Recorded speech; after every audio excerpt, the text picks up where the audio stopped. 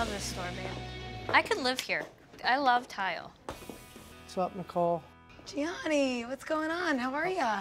Good, good. How you been? Good. We'd come get some tile from you.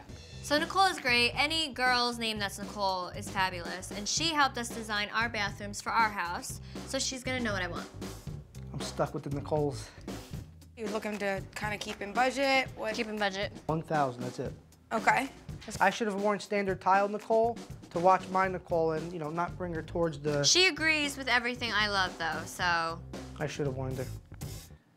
All right, well, let me show you guys a few things.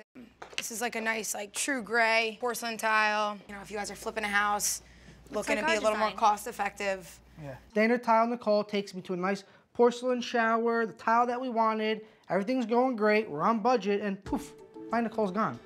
Look, that's pretty. Yeah, like, that's really pretty. I roll in the expensive section. Oh my That's my God. hood. So you want to do more of, like, the gray kind of colors. Just let's take a risk. Oh, jeez.